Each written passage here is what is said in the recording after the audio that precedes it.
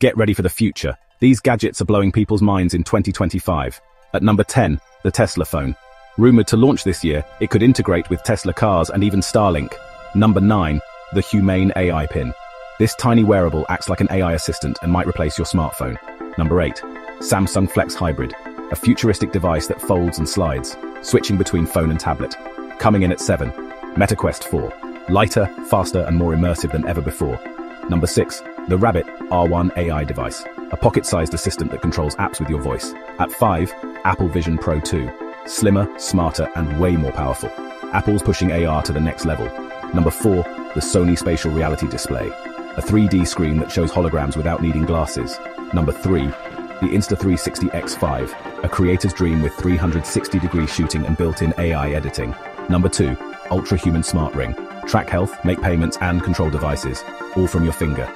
And number one, the Neuralink prototype. Elon Musk's brain chip might be tested on humans this year. Sci-fi just got real. Which gadget blew your mind? Comment below and follow for more quick top 10s.